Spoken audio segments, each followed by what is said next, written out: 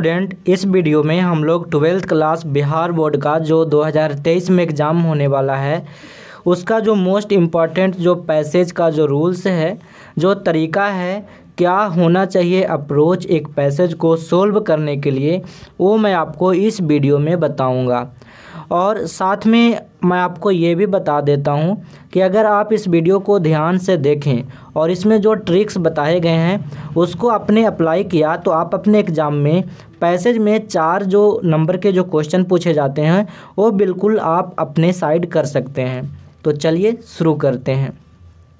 तो जो मैंने आज पैसेज लिया है ना, बिहार बोर्ड के जो सेंटअप एग्ज़ाम 2022 में पूछा गया है, उसी को लिया है। इससे आपको पता चलेगा कि असली में बिहार बोर्ड का जो पैसेज का लेवल है, वो कितना इजी है या फिर लेवल कैसा है हार्ड है या फिर इजी है। तो यहाँ पे आपको दिखाई दे रहा होगा जो आर्ट्स वाले स्टूडेंट के लिए पूछा गया है, सबसे पहले ये पैसेज करवाऊँगा। और इसी वीडियो में साइंस वाले स्टूडेंट के लिए जो पैसेज पूछा गया है, उसको भी करवाऊँगा। तो देखिए, यहाँ पे आपको दिखाई दे रहा होगा, फोर मार्क्स के क्वेश्चन है। तो क्वेश्चन में एक इंस्ट्रक्शन दिया हुआ है सबसे ऊपर, इसको पढ़ लेते हैं। कह रहा है read the passage carefully and answer the question that follow मतलब क्वेश्चन में जो पैसेज दिए गए हैं, उसको ध्यान से पढ़ना है और क्वेश्चन को फॉलो करना है। मतलब क्वेश्चन पूछा जाता है, उसको आंसर बताना है आपको, ठीक है? तो बेसिकली मैं आपको बता रहा हूँ, सबसे पहला ट्रिक बता रहा हूँ आपको कि जब भी आपको पैसेज मिले ना आपके क्वेश्चन आपके एग्ज़ाम में तो सबसे पहले आपको क्या करना है कि क्वेश्चन को पढ़ना है। और मैं आपको बता रहा हूँ, ये बोर्ड एग्ज़ाम के पैसेज के लिए बता रहा हूँ। बहुत सारे कम्पटिटिव एग्ज़ाम होते हैं एसएससी बैंक या फिर बहुत सारे एग्ज़ाम होते हैं, उनमें आपको ये तरीका नहीं अपनाना है। उनके कुछ और तरीके होते हैं, वो मैं आगे कभी बताऊँगा आपको। तो यहाँ पे बोर्ड एग्ज़ाम के लिए बता रहा हूँ तो सबसे पहले क्या करना है ना, कि जो भी क्वेश्चन पूछा गया है, उसको एक नज़र देख लेनी है। और क्वेश्चन देखने के बाद आपको ये पता कर लेनी है, अपने माइंड में एक बैकग्राउंड बना लेनी है, कि ये ये क्वेश्चन पूछा गया है। तो चलिए, जल्दी से पढ़ लेते हैं क्वेश्चन को, उसके बाद आगे बढ़ेंगे। तो पहला क्वेश्चन है कि वाई इज़ ऑयल नीडेड मतलब जो ऑयल है, उसकी क्या आवश्यकता होती है, क्या ज़रूरत होती है? यहाँ पे ऑयल का मतलब है फ्यूल से, ईंधन से, जो गाड़ियों में मोटर कार में, ये सब में जो पेट्रोल डीजल जो ये सबसे चलती है ना नेचुरल गैस उसकी बात हो रही है। आगे हम डिटेल में देखेंगे। अगला जो क्वेश्चन है, इसमें लिखा हुआ है कि what does oil provide us मतलब जो ऑयल है हमें क्या प्रोवाइड करता है, हमें क्या देता है। तो आपको basically same to same Hindi नहीं करना है। हमें तो हिंदी करने आ रहा है तो मैं आपको नेचुरली हिंदी हो जा रहा है मेरे से। बहुत सारे स्टूडेंट को अगर हिंदी ना भी होता है ना तो सिर्फ़ इसका मतलब समझना है कुछ हद तक कि अच्छा ऐसा कुछ पूछ रहा है, ठीक है? चलिए। आगे देखते हैं। तीसरा नंबर क्वेश्चन कर रहा है कि what did people not know in the past time पुराने ज़माने में, पहले के समय में लोग क्या नहीं जानते थे, क्या करना नहीं जानते थे। ठीक है? अब आगे चलते हैं। यहाँ पे डी नंबर जो क्वेश्चन है, इसमें पूछ रहा है मेक सेंटेंसेज विथ यहाँ पे दो वर्ड्स दिए हुए हैं। पहला मॉडर्न इससे सेंटेंस बनाना है। और दूसरा है ट्रेवल तो बहुत सिंपल वर्ड है। चलिए अब मैं पैसेज को पढ़ के समझाता हूँ। तो देखिए, पहला लाइन लिखा हुआ है without oil the modern world could not exist यहाँ पे बेसिकली ये बातें हो रही है कि बिना तेल के, बिना ईंधन के जो आज की जो आधुनिक दुनिया है, वो शायद एग्जिस्ट नहीं कर पाती। मतलब जो आज की जो आधुनिक दुनिया है, वो बिना तेल के, बिना ईंधन के, वो अस्तित्व में नहीं हो पाती। यहाँ पे जो कोड है ना, ये पॉसिबिलिटी को बता रहा है। ठीक है? याद रखिएगा। चलिए, इतना आपको डिटेल में नहीं जाना है, मैं आपको बता रहा हूँ। कह रहा oil is needed for travel जो कहता है कि ऑयल जो है ना, जिसकी ज़रूरत है ट्रेवल के लिए। तो जैसे ही आपने यहाँ पे पहुँचा तो आपका माइंड में क्लिक होना चाहिए कि अच्छा ऐसा ही क्वेश्चन पूछा गया था पीछे। तो आपको क्या करना है कि यहाँ पे ध्यान देनी है और ऐसे ही करके आंसर निकालनी है। ठीक है? तो चलिए मैं आपको बताऊँगा आंसर, पहले पढ़ लेता हूँ ठीक से। कहता है oil is needed for travel because it powers powers का मतलब होता है शक्ति प्रदान करता है। तो जो हमारा फ्यूल है, जो पेट्रोल डीजल नेचुरल गैस है, वो पावर्स करता है, वो शक्ति देता है किनको? मोटर कार्स को, क्योंकि इसी से चलते हैं। Buses trains aeroplanes and ships तो ये जो हमारे ट्रांसपोर्ट के जो मीन्स हैं, जो साधन हैं, उनकी बातें कर रहा है कि जो ट्रेवल जो सिस्टम है, उसको ये पावर करता है। ठीक है? तो यहाँ तक तो आपने देख लिया, आगे चलते हैं। आगे कह रहा है कि ऑयल हेल्प्स मशीन्स अब बहुत सारे जो अलग अलग तरह के जो काइंड हैं अलग अलग प्रकार की जो मशीनें हैं, उनमें हम ऑयल को हेल्प में लेते हैं। ठीक है? आगे बात की जा रही है, किस लिए हेल्प में लेते हैं? टू रन ईजिली कि हमारे जो मशीन है, वो आराम से, बहुत सुगमता से चल सके, वो काम कर सके प्रॉपरली उसके लिए काम में लेते हैं। ठीक है? आगे चलते हैं। कहता है ऑयल ऑल्सो गिव्स अस कहता है, जो ऑयल है ना, वो हमें ये भी देता है, क्या? दूसरे तरह के सब्सटांसेज मतलब दूसरे तरह की चीज़ें भी देती है। जैसे मैं आगे बताया है, कौन सी चीज़ें? सच एज सच एज का मतलब है जैसे कि आर्टिफिशियल रबर रबर तो आर्टिफिशियल रबर भी बनाए जाते हैं मैन मेड है ना? आर्टिफिशियल मटेरियल्स बनाए जाते हैं क्लॉथिंग के लिए. तो ये सारे चीज़ें ऑयल से हम और प्राप्त करते हैं. And new materials for making things और बहुत सारी ऐसी चीज़ें हैं नए नए चीज़ें, जिनको हम ऑयल का यूज़ करके बनाते हैं. ये बातें हो रही है। कहता है, यट, फिर भी till a hundred years ago मतलब कह रहा है कि सौ साल के बाद भी, सौ साल तक भी अभी हमने क्या किया था? यह till a hundred years ago अब कह रहा है कि सौ साल पहले तक भी ऐसा होता था, आज से बात कर रही है, कि नो वन यूज़ ऑयल कहता कोई भी जो ऑयल है ना, उसको यूज़ नहीं करता था एनी ऑफ़ दीज पर्पसेज कहता ऊपर जो ये पर्पस बताया गया ना कि मोटर कार के लिए यूज़ होता है आर्टिफिशियल मटेरियल के लिए यूज़ करते हैं हम लोग ऑयल का। तो ऊपर के जितने सारे पर्पस बताए गए, उनमें से कोई पर्पस का यूज़ नहीं किया जाता था। कितने साल पहले? एक सौ साल पहले की लगभग बात की जा रही है। तो अब ये हम लोग इस पर रिसर्च हुआ और अब हम धरल्ले से बहुत ज़्यादा मात्रा में यूज़ कर रहे हैं। तो कहता है in fact no one knew that much oil existed कहता है, वास्तव में कोई को नहीं पता था, कोई ऐसा नहीं जानता था कि इतना ज़्यादा ऑयल एग्जिस्ट करेगा। मतलब इतना ज़्यादा ऑयल हमारे पास है और इसका इतना यूज़ है। तो आपने पैसेज पढ़ लिया। चलिए, अब मैं आपको बताता हूँ कि आंसर कैसे करना है। अब यहाँ पे एक प्रो टिप दे रहा हूँ। अगर आपको यहाँ पे जो क्वेश्चन पूछा गया है ना ये सारे, इसके जब भी आंसर देना है तो ज़्यादा कोशिश करना है कि आप अपने लैंग्वेज में अपने तरह से दें। लेकिन बहुत सारे ऐसे स्टूडेंट हैं जिनको ट्रांसलेशन या फिर सेंटेंस बनाना ही नहीं आता है तो उनके लिए थोड़े से मतलब मुसीबत आएगी। या फिर कह लीजिए कि वो पैसेज में से लाइन को यहाँ से कॉपी करके मतलब इस तरीके की लाइन मैं अभी बताऊँगा, उस तरीके से भी लिख सकते हैं। वो भी अच्छा ही है, लेकिन आप खुद के लाइन बना के लिखेंगे ना तो वो ज़्यादा मतलब एग्जामिनर को अच्छा लगेगा। तो देखिए, पहला क्वेश्चन क्या है? पहला क्वेश्चन है कि वाई इज़ ऑयल नीडेड कहता है कि ऑयल की ज़रूरत क्यों होती है? तो मैं यहाँ पे सभी तरह का स्टूडेंट को ध्यान में रख के बता रहा हूँ। तो आपका जो क्वेश्चन था ना, जो पैसेज था बेसिकली उसी में तो लिखा हुआ था। यहाँ पे देखिए oil is needed for travel because it powers our motor cars buses train aeroplane and ships तो इसी लाइन को यहाँ पे कॉपी पेस्ट कर देनी है। ठीक है? देख रहे हैं? मैंने वही किया है यहाँ पे। ठीक है? Oil is needed for travel because it powers motor cars buses train aeroplane and ships तो आप ऐसे करके आप अगर थोड़ी सी भी हिंदी समझ में आती है, थोड़ा सा भी समझ आता है तो आप आंसर बना सकते हैं।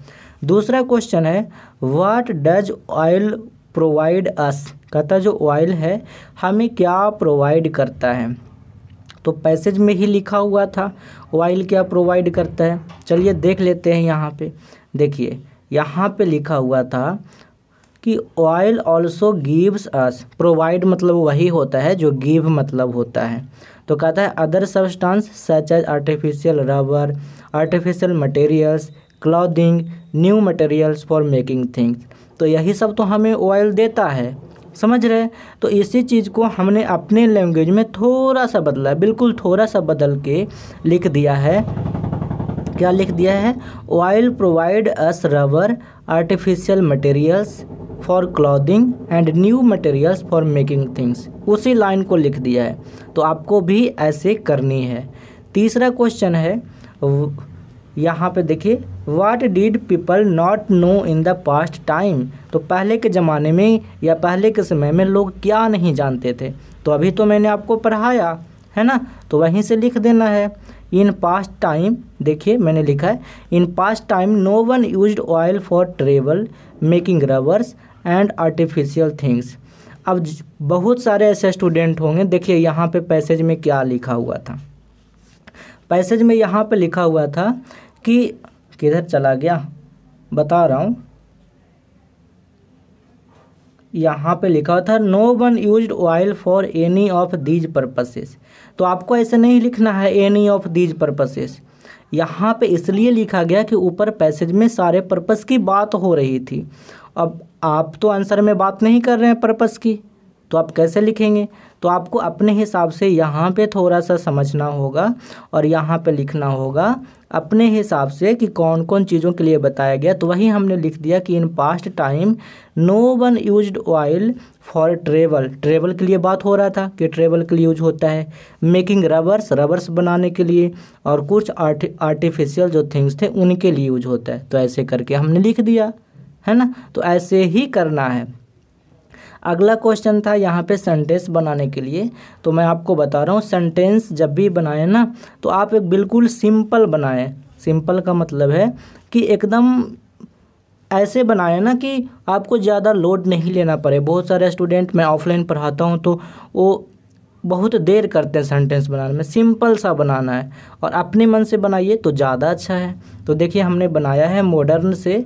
Modern world could not progress without oil तो हमने यहाँ पे बेसिकली ये बता दिया कि जो मॉडर्न वर्ल्ड है ना, वो विकसित नहीं हो सकता बिना तेल के। मतलब फ्यूल की बात हो रही है यहाँ पे। ठीक है? अगला सेंटेंस हमने बनाया है क्या? Travelling is a part of life travel का है तो आप ट्रेवल का ट्रेवलिंग से भी बना सकते हैं, सही ही होगा। तो मेरे माइंड में ऑटोमेट अचानक ही आया तो मैंने ये यहाँ पे बना दिया। ठीक है? मैंने ये ध्यान नहीं दिया, बट कोई दिक्कत नहीं है, ये सही है। ठीक है? Travelling is a part of our life. Travelling क्या है? हमारे लाइफ का एक पार्ट है। तो आपने यहाँ पे देखा तो अब आप यहाँ पे ना बेल गुरुकुल जो हमारा टेलीग्राम चैनल है, उसको ज़रूर ज्वाइन कर लीजिएगा, क्योंकि वहाँ पे मैं इंपॉर्टेंट क्वेश्चन पूछते रहता हूँ, प्रतिदिन पूछता हूँ तो वहाँ पे आप ज़रूर ज्वाइन करिएगा। और ये हमारा ट्वेल्थ क्लास 2023 के लिए हमने कंप्लीट नोट्स बनाया है, पूरा grammar rainbow story of English सारे चीज़ कवर हैं लेटर अप्लीकेशन ऐसे तो आप इस नोट्स को डिस्क्रिप्शन में दिया गया लिंक से ले सकते हैं, या फिर आप इस नंबर पे व्हाट्सअप करेंगे तो वहाँ पे इसके बारे में जानकारी आपको मिल जाएगी। तो अगर आप इसको लेना चाहते हैं तो ज़रूर लें, क्योंकि यह आपके एग्ज़ाम में बहुत ही ज़्यादा हेल्प करेगा। अब चलते हैं साइंस वाले, जो आपका पैसेज साइंस वाला में पूछा गया था। तो देखिए, साइंस का स्टूडेंट के लिए जो सेंटअप एग्ज़ाम में पूछा गया था, उसको देख लेते हैं एक बार कि वो कैसा पूछा गया था। तो यहाँ पे देखिए, यहाँ पे पूछा गया है, मैंने क्या क्या फ़ोटो खींच के यहाँ पे दिखाया है, इसको टाइप नहीं किया है, बट मैं आपको समझा दूँगा। देखिए डायरेक्ट पैसेज पढ़ लेता हूँ, क्योंकि आपको सारी बातें बता ही दी गई है। तो एक बार पहले question what do you understand why healthy habit healthy habits आप क्या समझते हैं? दूसरा क्वेश्चन है what does good habit include जो गुड हैबिट है, उसमें क्या क्या आता है? तीसरा क्वेश्चन है what should be do to become successful in life कहता है कि लाइफ में सक्सेसफुल होने के लिए हमें क्या करना चाहिए? और लास्ट और आखिरी क्वेश्चन है आ, देख लेते हैं। सेंटेंस बनाना है हैबिट और सक्सेसफुल से। बिल्कुल इजी है।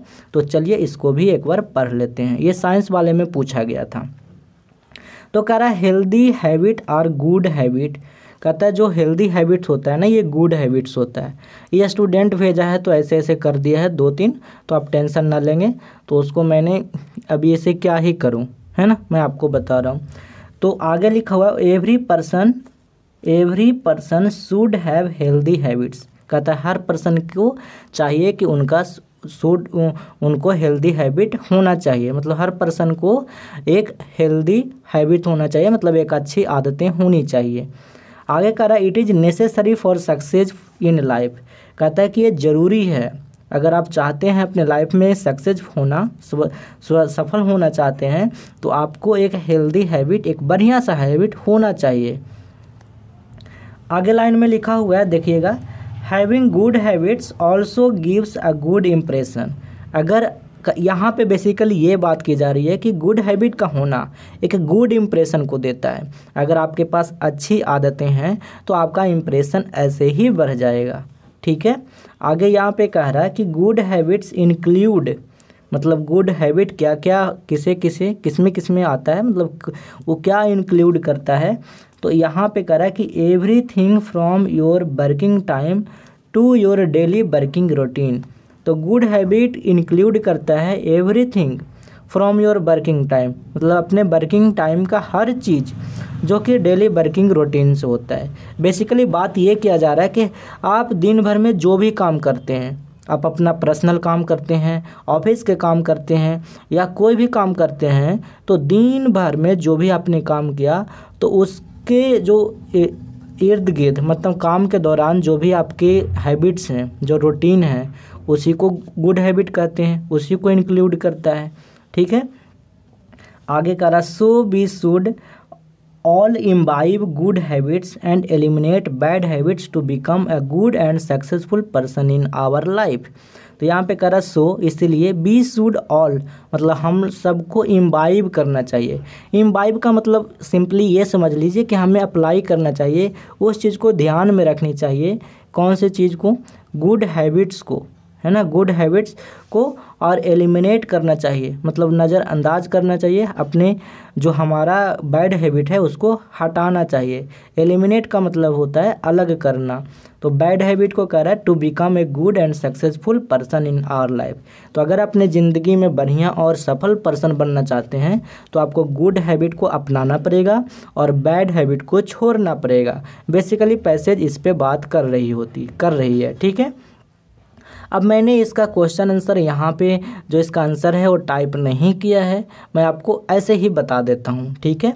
तो पहला क्वेश्चन है what do you understand by healthy habits तो सिंपल सी बात है, यहाँ पे पहली लाइन ही लिखा हुआ है, इसी को कॉपी पेस्ट कर दो, ज़्यादा आपको दिक्कत आ रही है तो है ना? Healthy habits are good habits simple सी बात है। अब देखिए, यहाँ पे फोर नंबर, यानी चार नंबर के ही क्वेश्चन पूछे गए हैं। तो आपको यहाँ पे चार क्वेश्चन हैं। तो एक एक सेंटेंस का आंसर देना है। बस, बिल्कुल एनप है। जी हाँ बता रहा हूँ, एक एक सेंटेंस का आंसर देना है। ये नहीं कि क्वेश्चन एक को, एक नंबर का है तो आप दस नंबर मतलब दस सेंटेंस का आंसर दे रहे हैं। ऐसा आपको नहीं करना है। तो पहला को हो गया दूसरा का बता दे रहा हूँ। कह रहा है what does good habit include तो यहाँ से लिख दीजिए। Good habit include everything from your working time to your daily working routine simply यहाँ पे इसका आंसर कर देना है। तीसरा क्वेश्चन कहता है what should we do become successful in life तो हमें अपने लाइफ में सक्सेसफुल होने के लिए क्या करना चाहिए? तो मैंने बताया था ना अच्छी आदतों को अपनाना है, बुरी आदतों को छोड़ना है। तो यहाँ पे ये वाला लिख दीजिए। We should all imbibe good habits and eliminate bad habits to become a good and successful person in our life ठीक है? अगर आपको अपने से सेंटेंस बनाने आता है तो बिल्कुल आप अपने तरीके से बनाएँगे तो ज़्यादा अच्छा होगा। ठीक है? और लास्ट का, अब लास्ट का तो बहुत ईजी है है ना? तो लास्ट वाला तो आप खुद बनाएँगे। मैं आपको वीडियो के कमेंट बॉक्स में ये लास्ट वाला जो सेंटेंस है, इसको मैं बता दूँगा। अभी बता देता हूँ, नहीं तो है ना? आप भी बनाने की कोशिश करिएगा। जैसे देखिए, पहला है हैबिट से बनाना। तो आपको अपनी आदतें चेंज करनी चाहिए। इसका बनाइए। ट्रांसलेशन मैंने दिया है। बिल्कुल आप ऐसे बना सकते हैं। ठीक है? बहुत इजी मैंने दिया है। ठीक है? दूसरा सक्सेसफुल सक्सेसफुल से मैं आपको हिंदी बता दूँ? आपको इंग्लिश बना लीजिएगा। जैसे हर कोई अपने ज़िंदगी में एक सक्सेसफुल पर्सन बनना चाहता है तो आप ऐसे बना दीजिए सिंपल ऐसे लिख दीजिए everyone want to be a successful person हर कोई एक सफल व्यक्ति बनना चाहता है तो ऐसे भी बना सकते हैं। तो ये दिन, ये जो दोनों है ना सेंटेंस बनाने वाला, इसको आप कमेंट में बना के बताइए हमें, और आपको जिस टॉपिक पे वीडियो चाहिए, आप हमें कमेंट करके बताइए, मैं ज़रूर बनाऊँगा। और बहुत से स्टूडेंट ये पूछते रहते हैं कि ग्रामर आपने कंप्लीट करवाया तो बता रहा हूँ, बिहार बोर्ड का स्पेशली ग्रामर के हर एक टॉपिक इस चैनल पे अपलोडेड है, ऑब्जेक्टिव क्वेश्चन के साथ, रूल्स के साथ तो आप प्लेलिस्ट में जाकर ये वीडियो देख लीजिए। सेवेंटी एट वीडियोज़ हैं इसमें, ये आपके लिए काफ़ी इंपॉर्टेंट है। तो आज तक इतना ही। Thank you for watching bye bye